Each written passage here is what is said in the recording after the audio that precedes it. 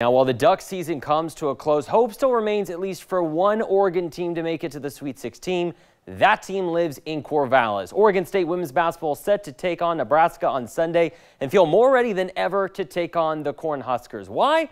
Well, you can thank Friday's performance for that one. After being tested by Jamie Loera and Eastern Washington, the Beavers feel like their defense can hang with anyone right now. Even the shifty guards and the quick post players that Nebraska has.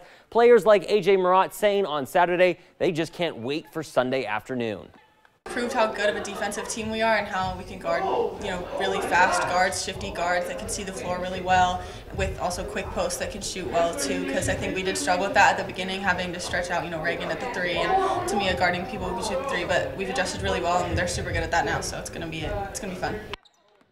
It's a 20-year reunion in the making. Three-seeded Oregon State taking on six-seeded Nebraska. We'll have live coverage on this one after the game.